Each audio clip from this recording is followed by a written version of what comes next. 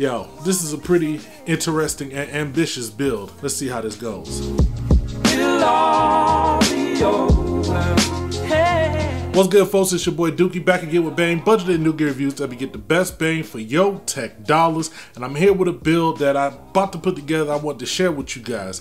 Now, this is only going to be a part one. I promise I'm not going to do a whole four or five part series for something like this. There's just gonna be two videos. This first one, we're gonna talk about the parts that I got, the reasoning behind this build, and kind of what I want to do with it. On part two, you're gonna get the build guide with all the beautiful B-roll, you're gonna get the finished product, and we're gonna do some benchmarks and all of that stuff.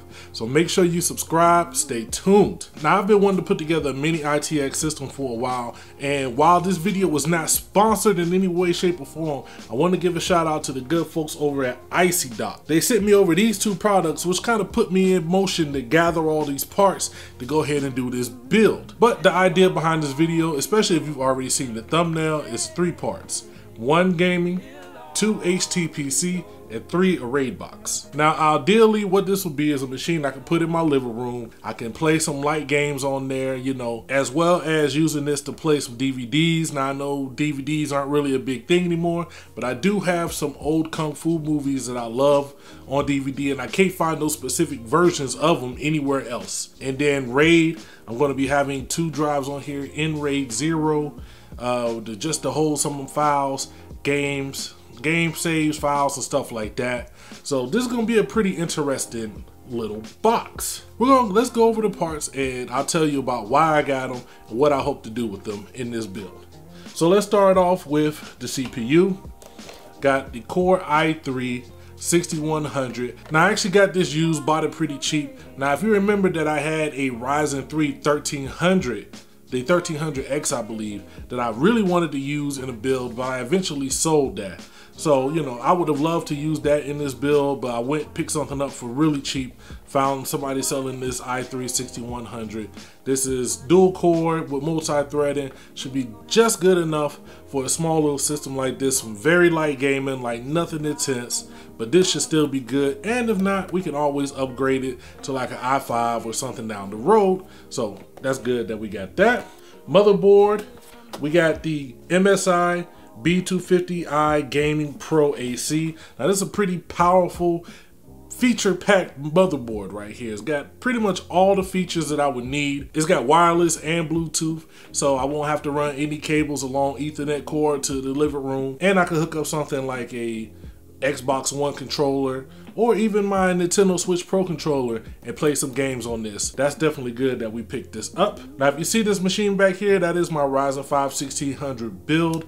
I just did a video where I'm talking about some of the issues I had with overclocking it. I shut it down because I needed to pull the RAM out of it for this build right here. We got 8 gigabytes of Viper RAM RAM is still ridiculous. It's, it's crazy right now. But I did pick up a 16 gigabyte kit that will be going into that machine back there. So I pulled this out so it could go into this build that we're about to work on. Now storage wise for the main OS, we're gonna be using this 128 gigabyte SSD from Drevo. Shout out to them, they sent this over a few months back pretty great little solid fast SSD drive. This should be good for running our OS, any apps that we need to install on it.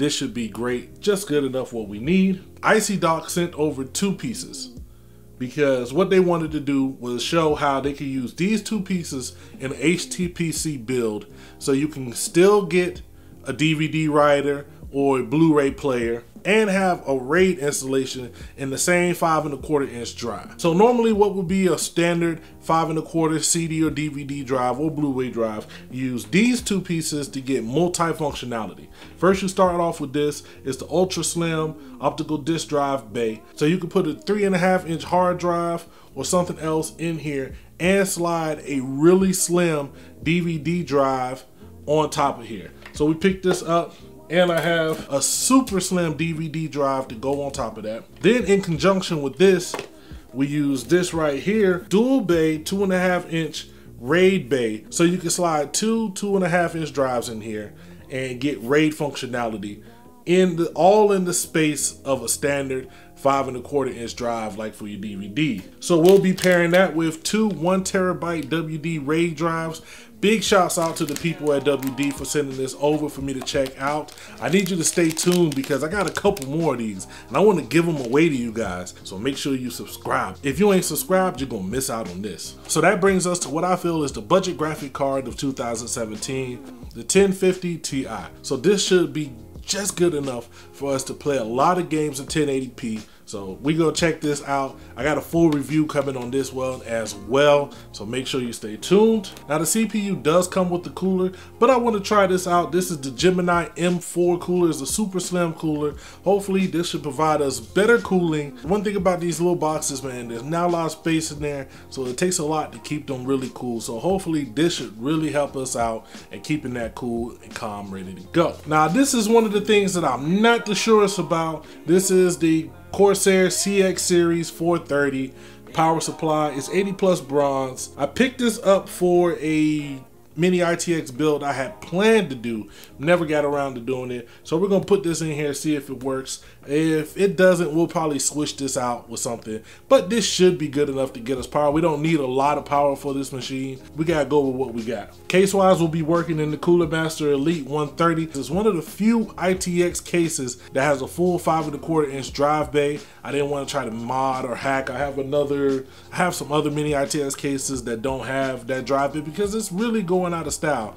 But this one has it, so that's good. We're gonna make it work, do what it do. And to wrap it all up, we got a little bit of LED lighting because hey, why not? this is where I need you guys help. I need some name suggestions. This is gonna be a pretty interesting build if it can do all three of the things that I'm hoping for. So I need a name that kind of goes along with the theme. If you suggest a name and I end up using it, I will send you one of those WD red drives. Make sure you like, share, subscribe, and you leave a comment letting me know what the name should be. And if you win, I'll get in contact with you get that out to you. All right, it's your kinfolk Dookie. I'm gonna get up out of here because I gotta actually put this together so I'm not just talking about it. We're gonna get it all up and running, looking real good, and I'm gonna come back and tell you what it is. Holla at your boy.